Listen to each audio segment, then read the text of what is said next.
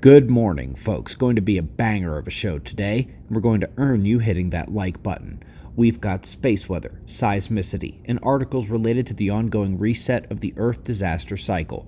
And we begin with the X class solar flare from yesterday. It came from the northern departing sunspot group, a relatively impulsive event that still managed to release a CME. It was tightly coiled and not aimed at Earth, but we have definitively entered another uptick period on our star.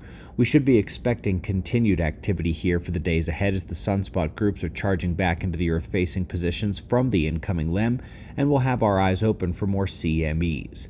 Over the last couple of days, we have seen several CMEs leave the Sun, and luckily, they have not been aimed at Earth. But we are hitting that part of the sunspot maximum, where the plasma eruptions are more and more numerous. In addition to this generalization about the Sun, there's one active region I'm particularly watching as it appears severely violent in terms of its localized magnetic field activity might be hard to spot with the flare and coronal hole stealing some attention. The coronal hole solar wind stream is due at Earth tonight or tomorrow, by the way. But on the incoming quadrants, you can notice one active region definitively more unsettled than the others. The coronal activity here hopefully dies down today because if it doesn't, it's going to produce significant flaring activity. We'll have eyes on it.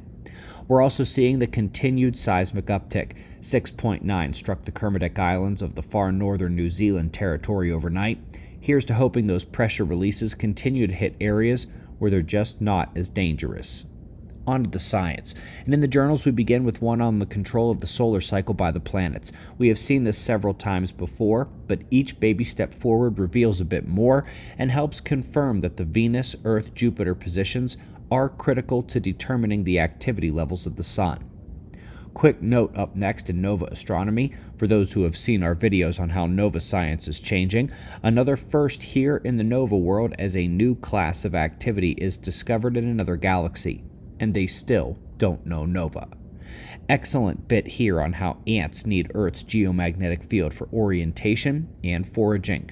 This should serve as a reminder that it's not just birds, but mammals, marine creatures, plants, and yes, insects all rely on the magnetic field for life critical processes, further hinting at the hit to the entire food chain that's coming during this ongoing geomagnetic excursion.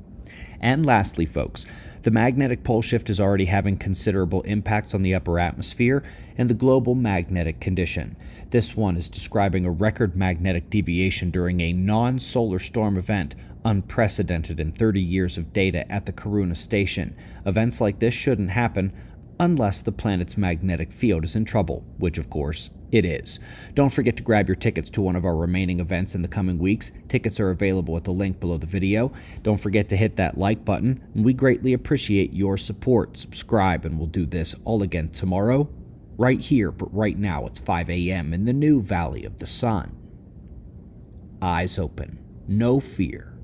Be safe, everyone.